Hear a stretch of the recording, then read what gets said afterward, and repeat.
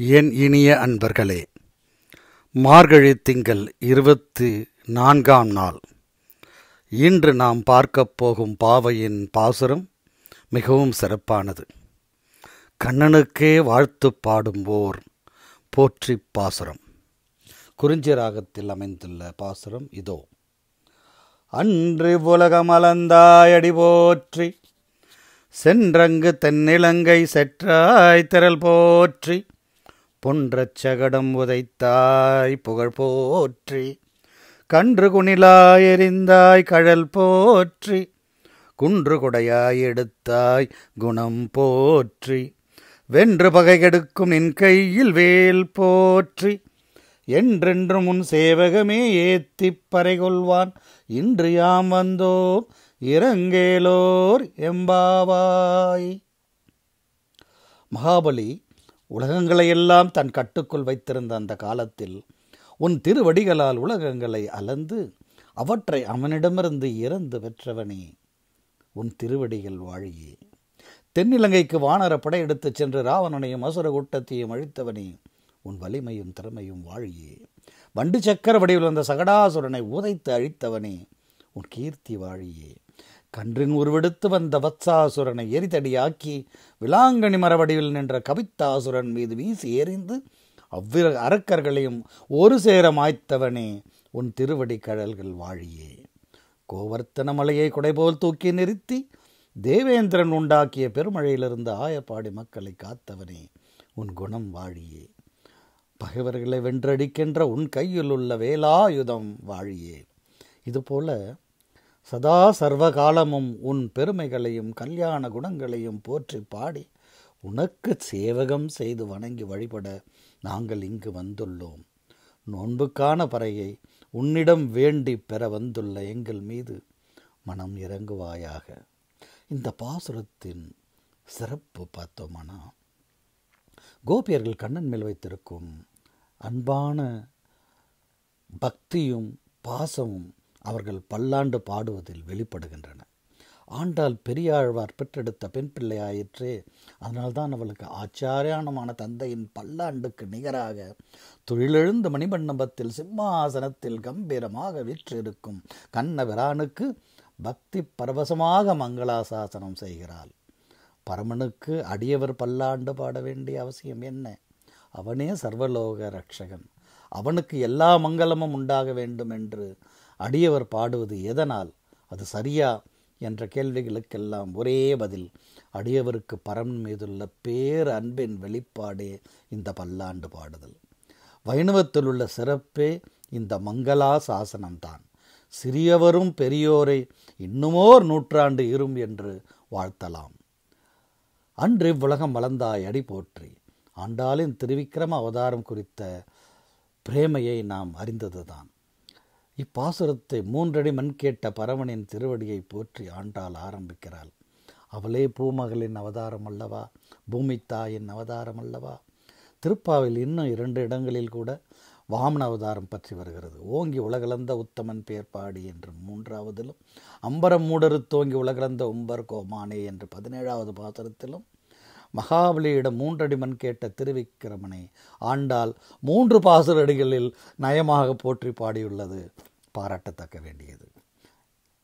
பரமனின் திருவடி தடமானது அவன் உலகங்களை அளந்த காரணத்தினாலே நீக்கமறை எங்கும் நிறைந்திருப்பதால் அவன் திருவடி நிழலே சரணாகதிக்குரிய ஒரே இருப்பிடம் என்பதை பாசுரத்தின் முதல் அடியிலேயே நமக்கு புரிய வைக்கிறார். பாடி கொடுத்த பாவை சூடி கொடுத்த நாச்சியார். சென்றங்கு தென்னிலங்கை செற்றாய் திரள் போற்றி. ராவணனை வானரப்படையை உருவாக்கி கடலில் பாலம் அமைத்து அவனது இருப்பிடமான இலங்கைக்கே சென்று வென்றதால் ராமனின் திரள் போற்றப்பட்டது. பொன்ற சகடம் உதைத்தாய் புகழ் போற்றி கன்று குணிலாய் எரிந்தாய் கழல் போற்றி. இந்த பொன்ற சகடம் உதைத்த பொழுது புகழ் போற்றிவிட்டு கன்று குணிலாய் எரிந்தபோது கோதை கழலை அவருடைய திருவடியை போற்றியது எதனால் என்று பார்த்தோமானால் கன்று வடிவில் வந்த அரக்கனை தடியாக கொண்டு கண்ணன் நின்ற இடத்திலேயே சுழன்று. இந்த ஒலிம்பிக்ஸில் ஹேமர் த்ரோ பார்த்துருப்பீங்கள்ல அந்த மாதிரி வீசி எரிந்த பொழுது ஒரு காலை நிலத்தில் இருத்தி கொண்டு இன்னொரு காலை சற்றே தூக்கி நின்ற கோலத்தை கண்ணனது தாமரை பாதமும் கழலும் பளிச்சென்று கண்ணில் பட அந்த கழல் போற்றப்படுகிறது. என்னே அருமையான இலக்கிய நயம். குன்று கொடையாய் எடுத்தாய் குணம் போற்றி. குன்றை கொடையாக எடுத்து பெருமழையிலிருந்து ஆயர்களை காத்தபோது கண்ணனின் பெருந்தன்மையுடனான கருணையை அதாவது இந்திரனை அழிக்காமல் விட்டதை குணம் போற்றி என்றால் ஆண்டாள்.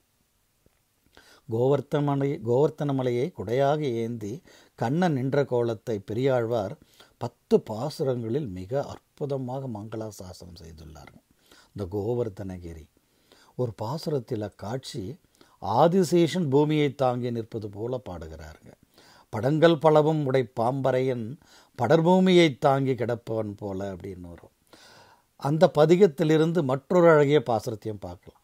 செப்பாடுடைய திருமாலவன் தன் செந்தாமரை கை விரல் ஐந்தினையும் காப்பகம் அடுத்து மணிநெடுந்தோல் காம்பாக கொடுத்து கவித்த மலை எப்பாடும் பரந்தெழி தெல்லருவி இலங்கு மணிமுத்து வடம் பிறழ குப்பாயமென நின்று காட்சி தரும் கோவர்த்தனம் என்னும் கொற்ற குடையே என்று மிக அருமையாக பெரியாழ்வார் பாசுரம் பதி பத்து பாசுரங்கள் திருவாய்மொழியில் பாடியிருப்பார். வென்று பகை கெடுக்கும் நின் கையில் வேல் போற்றி பகைவர்களை அழிப்பதற்கு முதன்மை கருவியாக இருப்பதால் பரமன் கைவேல் போற்றப்பட்டது. அடியவர்களை காக்கவும் தீமையை அழிக்க வேண்டியிருக்கிறதே அந்த பரமனுக்கு நிறைய நேரங்களில். அதனால்தான் கண்ணன் கூர்வேல் கொடுந்தொழிலன் நந்தகோபனின் மைந்தன் அல்லவா? படைப்போர் புக்கு முழங்கும் அப்பாஞ்ச ஜன்னியமும் பல்லாண்டே என்று விஷ்ணு சித்தரின் மங்கள ஆசாதனத்தை நினைவு கூற வேண்டும். சங்கை அவர் பல்லாண்டு பாடியது போல் இவர் கையில் உள்ள வேலையும் போற்றுகிறாள் ஆண்டாள். இப்படி ஒவ்வொரு போற்றுதலிலும் ஒரு அழகான இலக்கிய நயம் உள்ளது இந்த பாசுரத்தில்.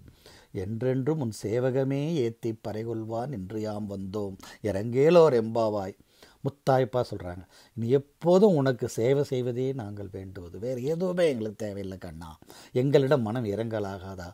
என்று கோபியர் இறைஞ்சுவதாக ஆண்டாள் பாடும்போதும் கருணை வடிவான அப்பரமன் இனிமேலும் அருள் வழங்காமல் இருக்கத்தான் முடியுமோ? ஆண்டாளின் பெரும் பக்தியே இந்த பாசுரத்தில் நயமாக வெளிப்படுகிறது. இதுவல்லவோ ஆத்மார்த்தமான பல்லாண்டு பாடுதல் ஊழியம் செய்தல் சரண் புகுதல். இந்த பாசுரத்துக்கு மறைபொருளாக சொல்கிறது கூர்வேல் கொடுந்துள்ள நந்தகோபன் மகன் என்பதாலேயே கண்ணனுக்கு வேல் வேண்டியதாயிற்று. வென்று பகை கெடுக்கும் நின் கையில் வேல் போற்று. கோபியர்கள் மாயக்கண்ணனை அடி போற்றி திரள் போற்றி புகழ் போற்றி கடல் போற்றி குணம் போற்றி வேல் போற்றி என்று ஆறு வகையாக மங்களாசாசனம் செய்து தங்களுடைய நாவால் அறுசுவை அனுபவிக்கின்றனராம் இந்த பாசுரத்தில் பரமனுக்கு ஆறு முறை மங்களாசாசனம் செய்யப்படுகிறது. அவை பரமனின் ஆறு கல்யாண குணங்கள். ஞானம் வலிமை செல்வம் வீரியம் பொலிவு செயல்திறன். இதையெல்லாம் குறிப்பாக சொல்லுதாங்க. மூன்றாவதாக என்றென்றும் உன் சேவகமே ஏத்தி பறைகொள்வான் என்பது அடியார்களான கோபியர் பரமபதத்தில் பகவத் கைங்கரியம் செய்ய வேண்டுவதை மட்டுமே வேண்டுவதை உள்ளர்த்தமாக கொண்டுள்ளது. என்றென்றும் இன்னொரு பாசுரத்தில் பின்னாடி சொல்லுவாங்க. எற்றைக்கும் ஏழு ஏழு பிறவிக்கும் முந்தன்னோடு ஒற்றுமையாவோம் என்று. அந்த மாதிரி இவங்க வந்து பகவத் கைங்கரியம்தான் வாழ்க்கை அப்படின்னு முடிவெடுத்துட்டாங்க. வென்று பகை கெடுக்கும் நின் கையில் வேல் போற்று என்பது மோட்ச சித்தியை அடைவதற்கு தடையாக இருக்கிறதெல்லாம் பரந்தாமனின் கூறிய சங்கல்பம் உடைத்தெறியும் என்பதை உட்கருத்தா வலியுறுத்திருக்காங்க வென்று பகை கெடுக்கும் நின் கையில் வேல் போற்று. இந்த குன்று குடையாய் எடுத்தாய் குணம் போற்று என்று பாடும்போது பரமபதத்தில் ஸ்ரீ வைகுந்தனாக அனைத்து உலகங்களையும் ரட்சிக்கும் சர்வேஸ்வரனாக வெண்கொற்ற குடையின் கீழ் எழுந்தருளி இருக்கும் பரந்தாமனின் கல்யாண குணங்கள் போற்றப்படுகின்றன.